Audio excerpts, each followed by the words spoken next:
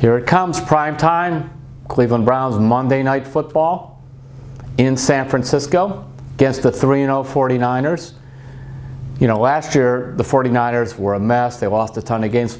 Jimmy Garoppolo, their starting quarterback, blew out his knee early in the season. Jimmy Garoppolo, by the way, is back. 49ers are 3 0. How about this? In his career, I'm checking my notes, my notebook, scribbles. He's 11 and 2 as a starter. That's what Garoppolo is with the 49ers. And that's what he is in Kyle Shanahan's offense, which is uses the run game well, uses a lot of misdirection with screen passes. Remember, Shanahan was here for a season when the Browns were 7 and 9. Brian Hoyer had the best year of his career with Kyle Shanahan calling the plays. What I want to see from the Browns, they got to get there in San Francisco and do exactly what they did against Baltimore in terms of their offense. Nick Chubb running the ball. I mean, look, he's not going to run for 88 yards and a touchdown every week, but Nick Chubb breaking three or four tackles and scoring a touchdown from 14 yards away, he's capable of doing something like that every week.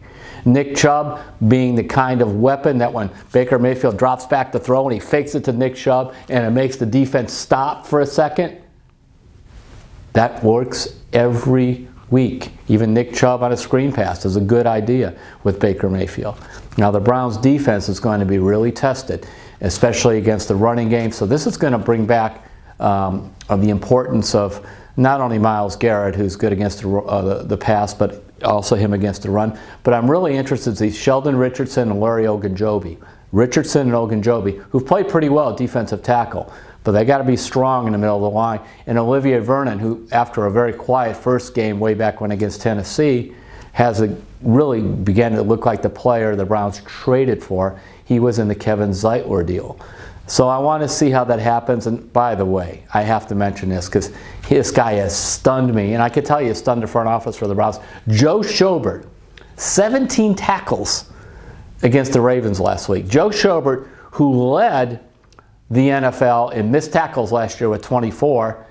Last I looked, he's only had four in four games.